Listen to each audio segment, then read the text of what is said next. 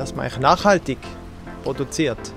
Ähm, sowohl im Essen, bei der, bei der Landwirtschaft, aber natürlich auch bei, bei der Energie.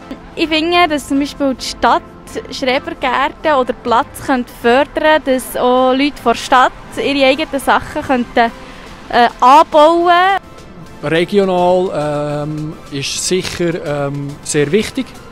Äh, das sollte man weiter ausbauen, nach meiner Meinung. Idéalement, dans tous les pays, il faudrait vraiment une agriculture locale. Ça permettrait euh, d'éviter euh, tous ces problèmes actuels avec la pandémie. Der kleine Bauer, der halt bei seinem Hof Rüebli und, und Herdöpfel anbietet oder Äpfel, das ist sehr wertvoll.